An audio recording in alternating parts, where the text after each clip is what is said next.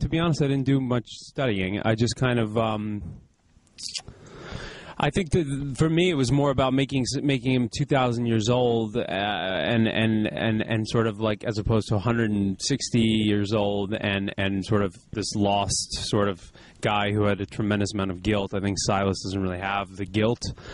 He's more a man on a mission, and I think it's just he's so much older and so much wiser, and I think he doesn't react to things as.